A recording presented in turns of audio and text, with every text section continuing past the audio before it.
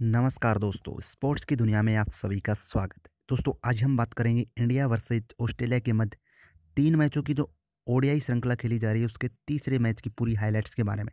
दोस्तों, पहला मैच वानखेड़े, मुंबई के अंतर्गत खेला गया, जिसके अंतर्गत ऑस्ट्रेलिया ने वो मैच जीत के अपने नाम सीरीज़ में एक ज़ीरो से बढ़त हासिल की थी।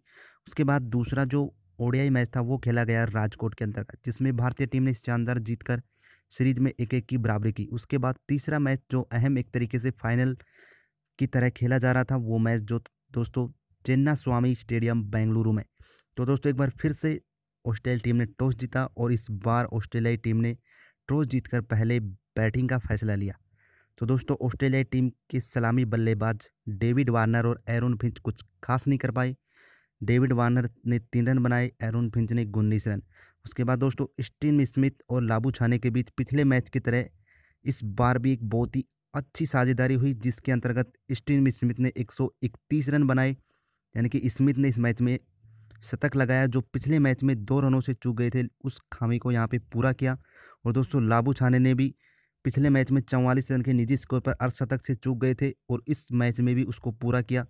चौवन रन बना के अपना अर्धशतक यहाँ पे पहला अंतर्राष्ट्रीय अर्धशतक पूरा किया लाबू छाने ने भी। उसके बाद दोस्तों फिर से एक बार ऑस्ट्रेलिया टीम बिखर गई। स्टार्क ने ज़ीरो रन बनाया। अलेक्स कैरी ने पैंतीस रन बनाए, टर्नर ने चार रन, एस्टन अगार ने ग्यारह रन और कमिंस ने ज़ीरो रन बनाया। उसके बाद दोस्तों एडम जंपा और हैजलवुड ने एक एक रन बनाया। इस तरीके से ऑस्ट्रेलियाई टीम ने पचास ओवरों के अंतर्गत दो सौ छियासी रन बनाए नौ विकेट के नुकसान पे। जिसके अंतर्गत भारतीय टीम ने सत्ताईस एक्स्ट्रा रन दिए।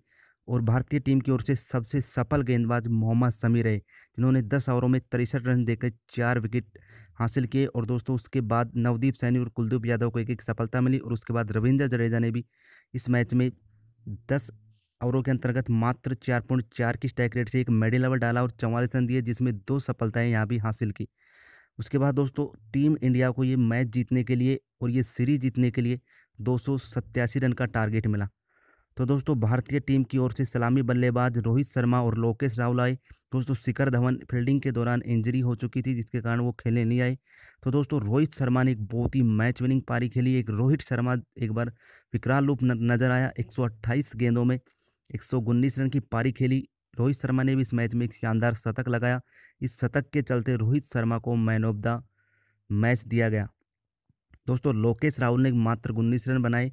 उसके बाद विराट कोहली ने भी एक विराट पारी खेली और अंत तक अपनी टीम को बहुत ही विजयी पहुँचाने में उनका बहुत ही अहम योगदान था। विराट कोहली ने नवासी रन की शानदार पारी खेली, हालाँकि शतक से ग्यारह रन चूक गए। लेकिन दोस्तों, विराट कोहली को इस सीरीज़ में प्लेयर ऑफ़ द सीरीज़ का अवार्ड दिया गया। दोस्तों, श्रेयस अय्यर ने भी बहुत ही ताबड़तोड़ बल्लेबाजी की 35 ओवरों में वो सॉरी दोस्तों 35 गेंदों में चवालीस रन बनाए और मनीष पांडे ने भी चार गेंदों में दो चौके की मदद से आठ रन बनाए। इस तरीके से टीम इंडिया ने मात्र सैंतालीस पॉइंट तीन ओवरों के अंतर्गत ही इस दो नवासी रन का टारगेट चेज किया और मात्र तीन विकेट गंवा के इस तरीके से टीम इंडिया ने मात्र अड़तालीसवें ओवर में ही ये मैच अपने नाम करके सीरीज़ भी अपने नाम कर ली। दोस्तों, गेंदबाजी का लेखा जोखा ऑस्ट्रेलियाई टीम की ओर से हैजलवुड, एस्टन अगार और एडम जंपा को एक एक सफलता मिली। इसके अलावा किसी ने, किसी भी खिलाड़ी ने कोई खास प्रदर्शन नहीं किया। तो दोस्तों, ये थी third India versus Australia match की पूरी हाईलाइट।